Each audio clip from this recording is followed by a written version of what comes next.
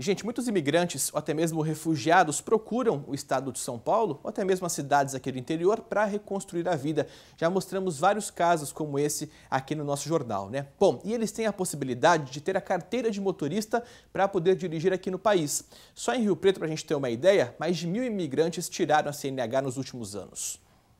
Eu nasci no 28 de setembro de 1993. O sotaque revela que Paulo não é brasileiro. Há quatro anos em Rio Preto, peruano veio morar no país em busca de mais qualidade de vida. Há alguns meses ele tirou a carteira de habilitação e já comprou uma moto para ir trabalhar. Me trouxe mais segurança de chegar mais rápido ao meu serviço e também que eh, poder me deslocar não somente de meu serviço eh, outros lugares, não, que às vezes eu também faço entrega, né? Nos últimos cinco anos, segundo a Polícia Federal, quase 145 mil imigrantes e 2.694 refugiados vieram morar no estado de São Paulo. Para se restabelecer no país, muitos deles precisam da carteira de habilitação.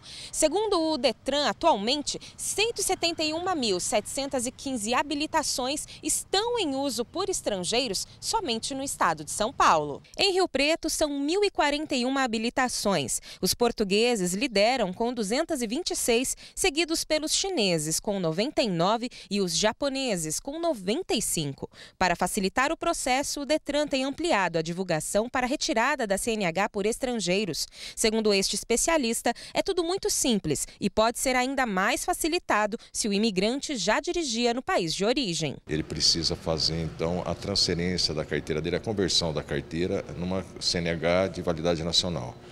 Esse processo não é complicado, se for um país que tem tratado de reciprocidade, ele só vai submeter ao exame médico e psicotécnico e fazer essa conversão. Para quem não tinha o documento, o processo é o mesmo de quem é daqui. Precisa fazer todas as aulas. Ele simplesmente precisa ter o Registro Nacional de Estrangeiro, ou seja, precisa estar regular no país, e o restante do processo é o mesmo do, do condutor nacional para poder é, receber habilitação. Com a carteira em mãos, é só respeitar as leis de trânsito e sair por aí dirigindo.